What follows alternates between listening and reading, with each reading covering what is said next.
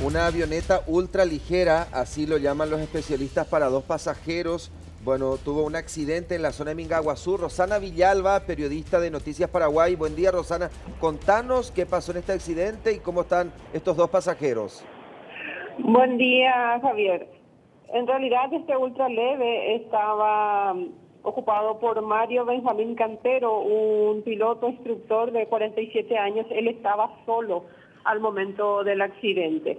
Como decías, es una avioneta ultra ligero para dos pasajeros que según los testigos, el piloto intentó realizar una prueba de la aeronave al costado de la ruta número 7 a la altura del kilómetro 20 en el distrito de Minga, Huazú, en lo que sería el área verde.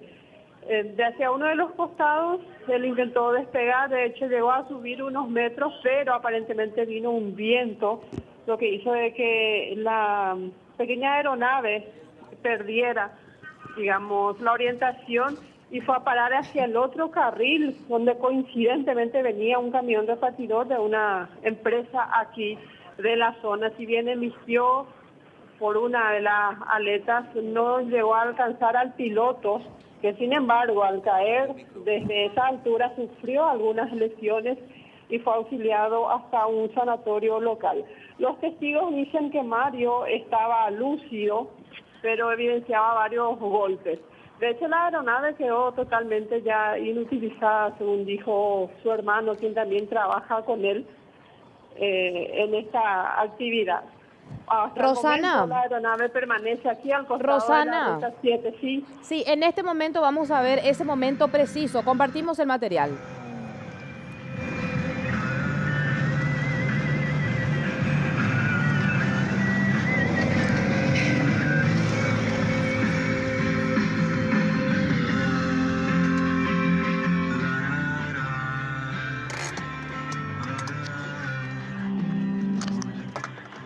Bueno, ahí está, ese es el momento preciso. Así cayó esta avioneta ultra liviana en el este, concretamente en Mingaguazú. Ahora sí, eh, por favor, nos estabas contando más detalles, Rosana. Queríamos compartir este material al que pudimos acceder, donde se observa ese preciso momento.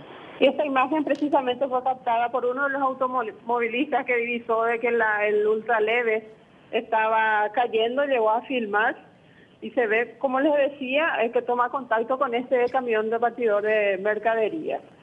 Y recién hablamos con el hermano del piloto, él dice que hasta ayer ellos estaban verificando el ultra leve está en condiciones, según ellos dicen, él mismo no supo explicar hasta el momento qué es lo que habrá pasado. Algunos testigos indican que en ese momento, como les decía, vino un viento fuerte. Rosana, pero ¿por qué voló ahí en la ruta? ¿Por qué tomó la ruta 7?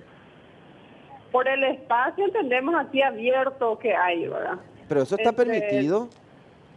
Entendemos, no, no son las condiciones, eh, no es el lugar, digamos, para este tipo de actividades. Porque yo no te digo si es una cuestión de emergencia, urgencia, no hay dónde aterrizar pasable o claro, despegar, pero acá estamos hablando eh, aparentemente de una prueba. De una aventura. De una prueba. Eh, el Mario es instructor, ¿verdad? Sí. Es piloto e instructor, él tiene su casa aquí en las inmediaciones del lugar del hecho, entendemos más bien por la distancia, para no ir al aeropuerto que queda a 6 kilómetros de aquí, es lo que él habrá, calculo yo, ¿verdad? Pero, Rosana... la prueba. Claro, pero Rosana, esto tiene que hacer en un aeródromo, en una pista privada, en un aeropuerto. No puede utilizar la Ruta 7 para hacer sus prácticas o para instrucciones. O para o sea, yo creo que eh, si esto no fue gracia, es por un milagro, ¿verdad? Porque podía haber muerto el piloto, el alumno. de hecho, ya es un milagro porque pudo haber caído en plena pista. Sí. es una, muy transitada en esta parte, inclusive mucha gente imprime velocidad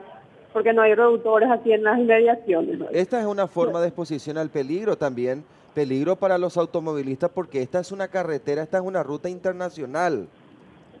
Así mismo es por eso que su hermano también decía, yo no conseguí hablar con él, no sé por qué se le ocurrió venir aquí, ¿verdad? Porque él lo califica a él como experimentado, ¿verdad? Y por más experimentado que una persona sea, entiendo yo, debe ser responsable, ¿verdad? Por supuesto, por supuesto, porque estás contando eh, que vive en las inmediaciones. O sea, podríamos pensar que por una cuestión de, comodidad, a lo mí cual me suena sería una descabellado.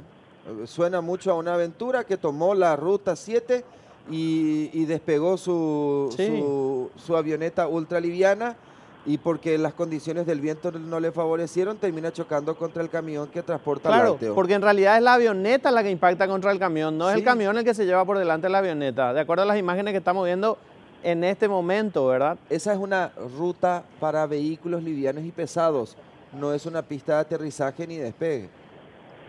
Y sí, más bien, como le decía, el área verde que está, el área de protección de la ruta, lo que él quiso utilizar, ¿verdad? Que que está hacia el costado, en este caso derecho, ¿verdad? Y le pasa a la carretera mismo el viento, él seguramente quiso maniobrar para quedarse otra vez en el área verde que, que está entre ambos carriles. Pero, mismo así es grande la aeronave. Claro, igual, igual Rosana, se va a tener que investigar, pero no importa que sea una cancha de fútbol, no importa si es una pista de carrera de caballos, si no es un aeropuerto no puede hacer esto por algo se definen estos y se designan estos lugares, ¿verdad? Así mismo es. Y la, los familiares estaban queriendo retirar lo que restó de la aeronave, pero la policía indicó de que no pueden hacerlo todavía, ¿verdad? Claro, tiene que llegar la fiscalía. Están interdictando, sí, están interdictando el área donde están las piezas, los componentes de la aeronave, ciertamente esperando la llegada de la gente de la fiscalía de turno.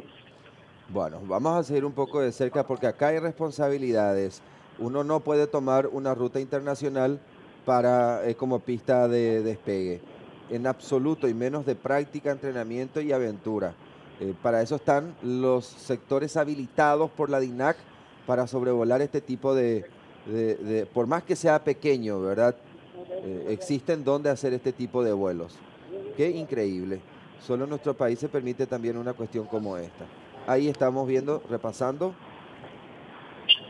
Sí, e, es un camión que transporta lácteos. contra lo que choca esta aeronave. Bueno, el avioncito, podríamos decir. Bueno, ¿y dónde está el, piloto, Rosana? Él fue derivado hasta un sanatorio privado. Los testigos dicen de que él insistía que lo lleven al, hospital del Instituto de Previsión Social porque tenía seguro.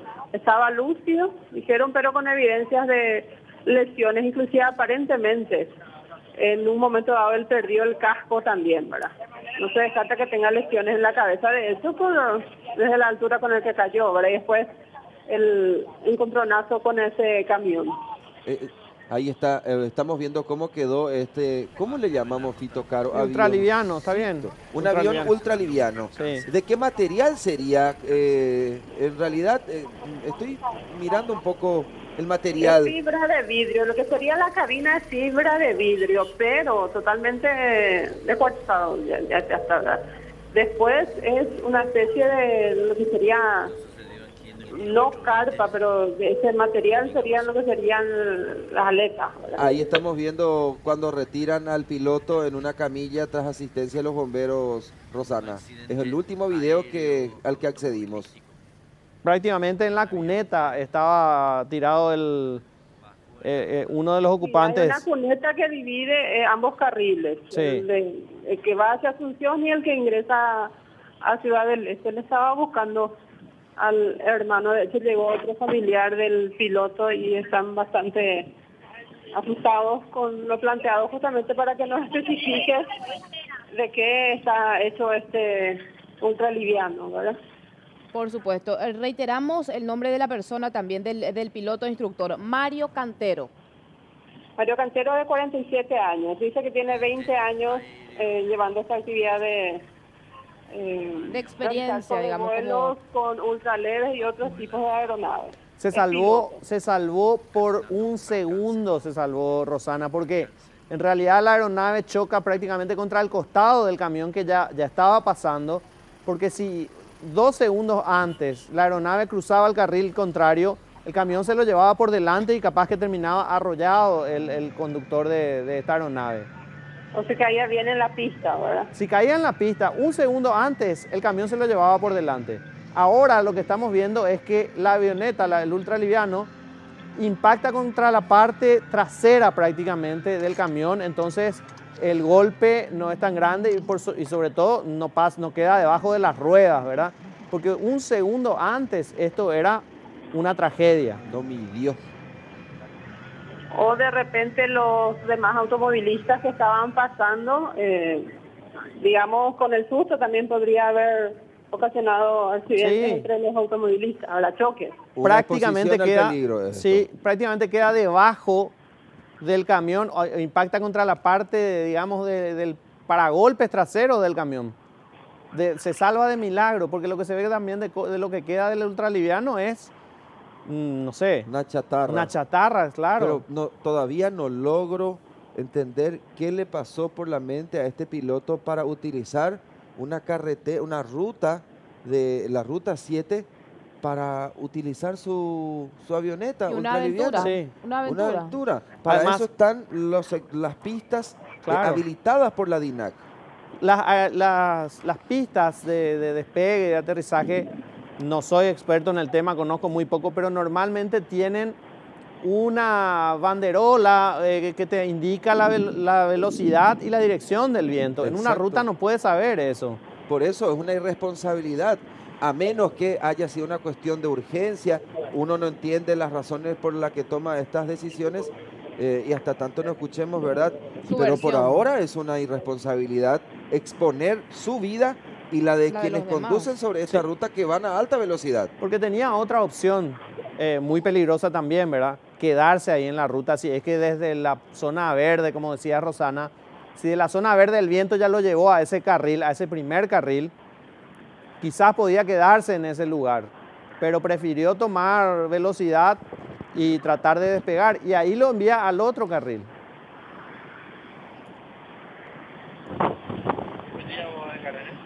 Bueno, Rosana, ¿pu- ¿pudiste hablar con los familiares? ¿Están allí todavía? Están, están aquí. Eh, le voy a tirar a Virginio, que es el que trabaja con él. Permiso, un ratito. Te quería molestar, ya que me estabas contando que ustedes trabajan juntos. ¿De qué está hecho este, esta aeronave? Material de, de aeronáutica, digamos. Básicamente esa sería la descripción genérica, ¿no? Eh, aluminio aeronáutico, eh, fibra de vidrio aeronáutico, y eso sería la descripción así, hablando de las horas. Sus compañeros se están preguntando, ¿es habitual que él venga aquí o solo hoy se le ocurrió? Él, hoy creo que es la primera que está intentando, tenía su, su hangar en otro lado, pero como está viviendo acá, creo que probó acá. ¿Dónde ustedes suelen tener la... en San Alberto. San Alberto. Y como nos mudamos hacia acá, entonces él trajo su, su equipo básico acá cerca, ¿no? Y se iba a Campo Nuevo. O sea, que él iba a viajar, no, no es que era un- una prueba. No, no, era una prueba. ¿cierto? Pero, Él es Virginio Cantero. pero Rosana, ¿podemos, podemos hablar con Virginio un segundito si se puede? Sí, de- sí. Está recibiendo una llamada telefónica. Ah, correcto, correcto. Para, ¿Para qué usaba, estaba, iba a usar ultraliviano hoy? Iba a ir a Campo 9. Iba a ir a Campo Nuevo, dice, porque él hace rato nos dijo de que, bueno, él nos llevó luego a conversar con el hermano hoy, dijo que probablemente él quiso hacer una prueba porque ayer estaban realizando los últimos montajes, las últimas revisiones. ¿verdad? Pero la ahora ruta sí- que va a, imagina, imagínense, va a Campo 9 desde acá. ¿verdad? ¿Cuánto tiempo es a Campo 9 por esta ruta, Rosana? Y por con vehículo entiendo que es una hora 40 como mínimo.